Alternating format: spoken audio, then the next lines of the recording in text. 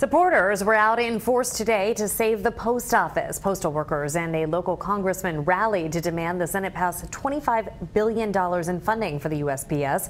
Democrat Brendan Boyle joined union officials outside the Bustleton Station post office.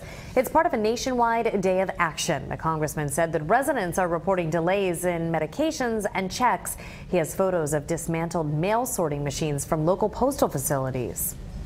We're up to seven or eight machines being disassembled sitting there collecting dust. Not going to another facility, they're going to scrap and spare parts.